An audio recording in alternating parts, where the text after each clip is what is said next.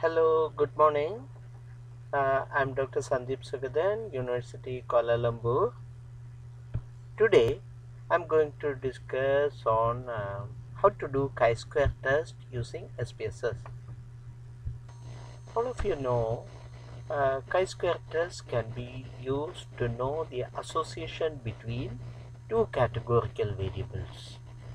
In this data, uh, the age category is a categorical variable and you know uh, systolic blood pressure category that is also a categorical variable. Type of diabetes mellitus is a categorical variable. Gender is another categorical variable. If you want to know the association between two categorical variable I will give an example age category and type of diabetes mellitus. I want to know which age category, which type of diabetes mellitus is more. Or I want to know the association between gender and the type of diabetes mellitus.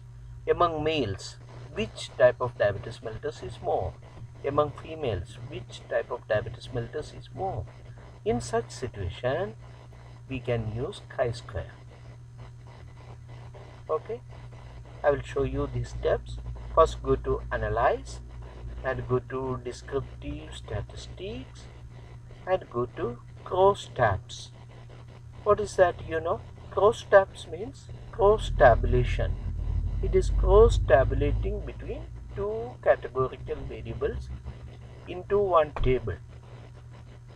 In our previous session on uh, categorical data descriptive statistics of categorical data we have discussed on cross tabulation and how it is used without selecting statistics.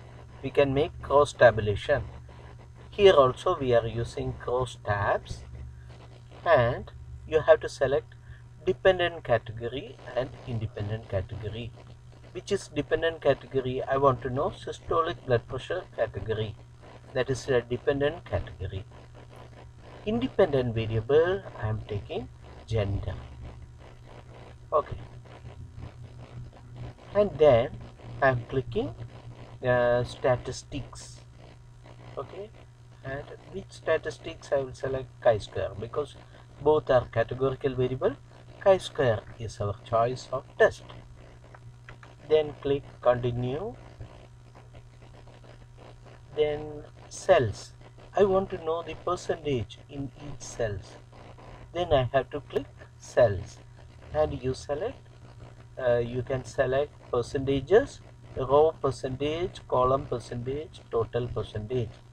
Each cell what is the uh, percentage? In term of row total in term of column total and in term of grand total. It will calculate. Then click continue. If you want you can select the expected counts also but not required in all case. Continue then you can select exact. Exact means what? Uh, I will tell you. If you are checking chi-square alone uh, SPSS will calculate asymptotic significance value. Asymptotic significance value means it is not exact significance value. It is a approximate an approximate significance value. You can select exact. Exact means what? Uh, in if in any case some of the cells are having expected count less than 5 then we cannot take we, we cannot use usual uh, chi-square test then we require Fisher's exact test that that will calculate exact p-value or exact significance value. It is better to check exact why you know we don't know. After analyze only we will uh, we will understand that some cells are having very low values to avoid that you can click exact computer will calculate Fisher's exact test also. Then uh, it is time limit per test 5 minutes. Because uh, they are giving like that to show uh, next 5 minutes computer uh, SPSS software will be selecting exact test. After 5 minutes it will go back to asymptotic only. Continue. Okay, we selected exact, we selected statistics chi-square. we selected uh, cells okay percentages then continue and you can select display clustered bar charts also then computer will uh, uh, draw the bar charts. Then click ok. The result appear in uh, output view. This uh, uh, association between gender and the systolic blood pressure category.